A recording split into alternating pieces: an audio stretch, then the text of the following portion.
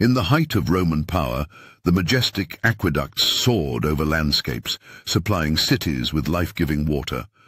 But what most people don't realize about these engineering marvels is their sheer scale and precision.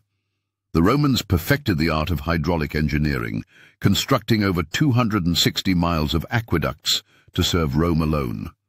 Historical sources reveal that these structures not only ensured clean water for drinking and bathing, but also supported lavish public baths and fountains, fueling urban growth.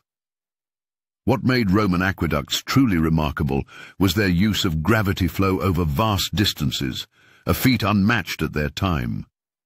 This Roman innovation changed civilization because it laid the groundwork for modern water supply systems.